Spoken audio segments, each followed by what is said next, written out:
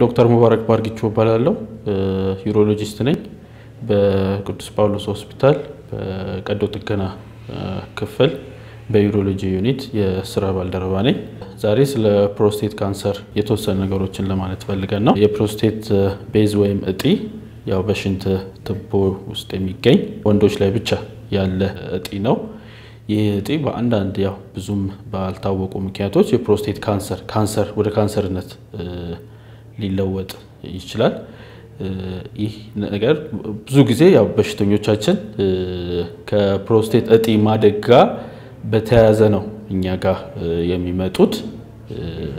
ይህም ማለት ያው ሽንት መሽናት መቸገር፣ ሽንት ቤት ከሄዱ በኋላ ቶሎ አለመጀመር፣ የሽንት መቆራረጥ፣ ቶሎ ቶሎ ሽንት ቤት የመሄድ እና በሌሊት የመነሳት ችግር የተነሳ ወደ እኛ በሚመጡበት ጊዜ አስፈላጊው ምርመራ በምናደርግበት ጊዜ አንደኛው ከምናደርጋቸው ምርመራዎች ውስጥ ይሄ የፕሮስቴት እጢ ማደግ ነው ወይስ ደግሞ የ prostate cancer ነው የሚለውን ለማወቅ የምንሰራቸው የደም ምርመራዎች አሉ።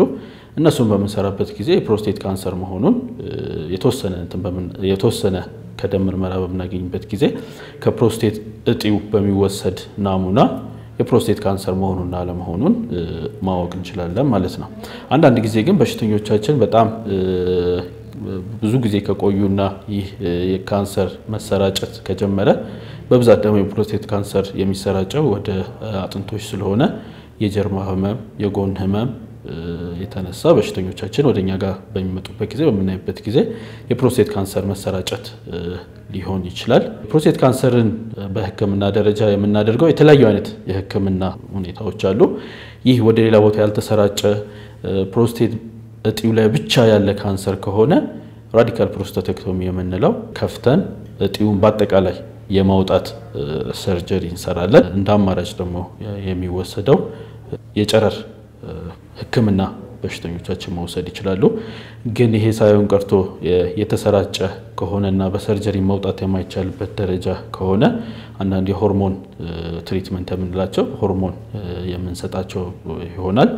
ሌላው ደግሞ ሆርሞን ከመስጠትም ጋር ያን ለመቀነስና ለማስወገድ ሲባል የዘር ፍሬዎችን የማውጣት ስራ መስራት ይቻላል።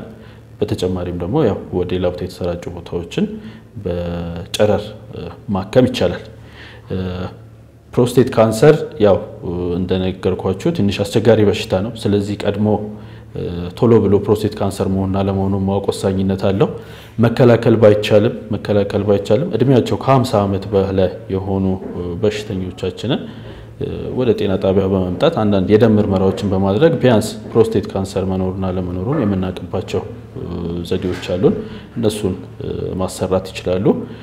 ሌላው በተለይ ደግሞ የ prostate cancer በቤተሰብ ላይ prostate cancer አባት፣ አጎት ላይ የመሳሰሉት ላይ ያለባቸው በሽተኞቻችን እንደዚህ አይነት ነገር እንዳይፈጠር ምክንያቱም ይሄ በዘር የመሄድ ነገር ስላለው እነሱም በመምጣት ይሄ በደም የሚታየውን እና አንዳንድ ምርመራ የምናደርጋቸው የራሳችን ምርመራዎች አሉ። እነሱን እንዲያሰሩ እንመክራለን። የ prostate cancer ካልታከመ ያው የሽንት ችግሮችን ከመፍጠርም ጋር የኩላሊት የመጎዳት የኩላሊት fail ማድረግ እስከ መጨረሻው ተደጋጋሚ የሽንት ኢንፌክሽን እና ብሎ እስከ ሞት የሚያደርስ በሽታ ነው። ይህን አውቀው ተመልካቾቻችን ወደ ጤና ተቋማት በመምጣት ራሳቸውን ቼክ እንዲያደርጉ እመክራለሁ።